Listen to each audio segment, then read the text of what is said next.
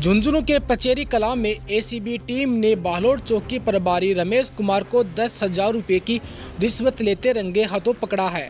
बाहलोड चौकी प्रभारी रमेश कुमार ने परिवादी से मोटरसाइकिल के मामले में बारह हज़ार रुपये की रिश्वत की डिमांड की थी। इसके बाद परिवादी ने झुंझुनू एसीबी को इसकी शिकायत की।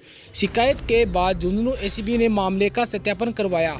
शिकायत सही पाए जाने पर आज झुंझुनू एसीबी के एएसपी इस्माइल खान की अगुवाई में ट्रेप को लेकर जाल बिछाया गया। आज परिवादी राकेश कुमार ने जैसे ही चौकी प्रभारी रमेश कुमार को दस हज़ार रुपये की रिश्वत दी, इसके बाद झुंझुनू एसीबी टीम ने इशारा पाते ही चौकी प्रभारी रमेश कुमार के ट्रेप की कार्रवाई को अंजाम दिया। ये परिवादी है राकेश कुमार डाणी बालोट का। इसने 25 तारीख को एप्लीकेशन दी। ऐसा उससे रिश्वत की मांग की जा रही है उसकी मोटरसाइकिल दिलाने के बाबत। इस बात की हमने सत्यापन करवाया। तो सत्यापन के अनुक्रम में आज ट्रेप का आयोजन किया।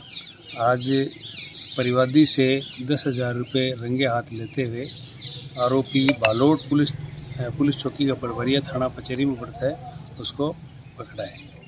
इसकी परिवादी ने रिपोर्ट दी थी कि जो उसकी मोटरसाइकिल है वो दिलवाने के नाम के दस हज़ार रुपये पहले बारह मांगे फिर ग्यारह हज़ार फिर दस हज़ार में तय हुआ। और दस हज़ार रुपये लेते हुए रंगा बाइक किस आरोप में पकड़ी गई थे? आरोप ये कह रहा है साहब मेरी बाइक कोई छीन छीन के ले गया और वो फाइव बाइक दिलाने के नाम पे हवलदार जी पैसे मांगे।